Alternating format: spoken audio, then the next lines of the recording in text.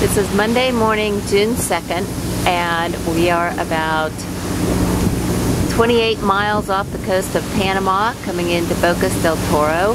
And look at the beautiful sunrise that I have on my watch this morning.